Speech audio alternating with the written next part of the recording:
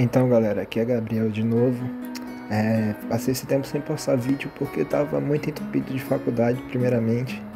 Depois porque passei um dia e meio com a minha família na praia e porra, eu tava totalmente desgastado. Tô, comecei esse canal porque eu tô desgastado, entendeu? É uma autoterapia para continuar fazendo as coisas direito. E passar um dia na praia, dois dias, né, no caso, é, foi um, é muito bom porque dá uma, uma reiniciada na cabeça, entende?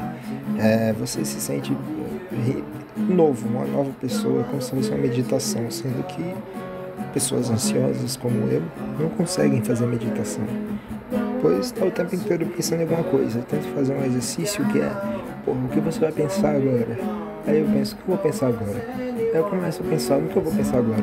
Eu fico nessa para sempre, entendeu? Então, é, apelei né, pro, pro método de fugir para a natureza e, cara, né, se você está sofrendo é, um burnout, assim, muita ansiedade, muita coisa para fazer, tenta arranjar um tempo, nem que seja um dia, para ver a natureza, pode ir à praia, é, algum bosque.